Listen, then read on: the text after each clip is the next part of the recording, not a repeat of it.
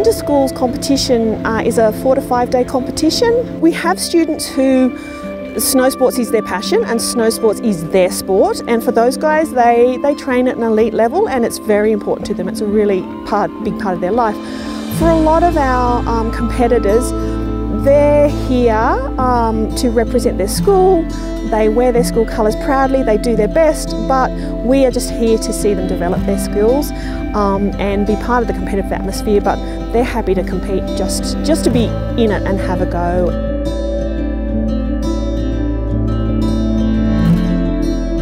Probably one of the richest experiences they get, apart from the competition, um, is just the time on snow. They're here for four or five days, they're up early in the mornings, they're on the slopes in all weathers, um, and they really do, and they're skiing with their friends. So it's to be able to be on snow for a full five days really improves snow skills apart from what they actually do in competitions.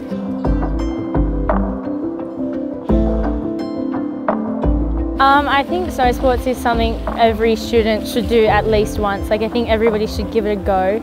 Um, especially me, for example, because competition is way out of my comfort zone. But it's, it's, I think it's really important to build that kind of experience in your life because how often are you really going to get to do that?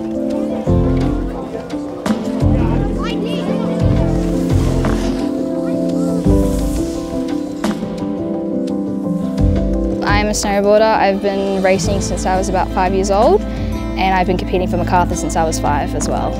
Uh, so during the holidays I'm down here pretty much every single day. I have a few day offs during the week and then once the term sort of, sort of rolls in I then come down every Friday and then I train on Saturday and Sunday and then I come back on Sunday to go to school on Monday and I've pretty much been doing that again since I was five.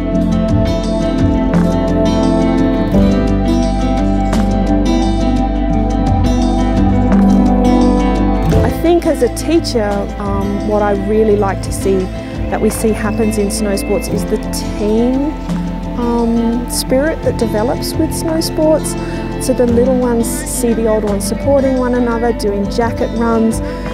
The little ones can see how well the seniors ski, so they actually can very much see, oh, that is the kind of skier I could become if I stick with it. So I really like, I really like the team effort that we get to create in, in our snow sports competitors.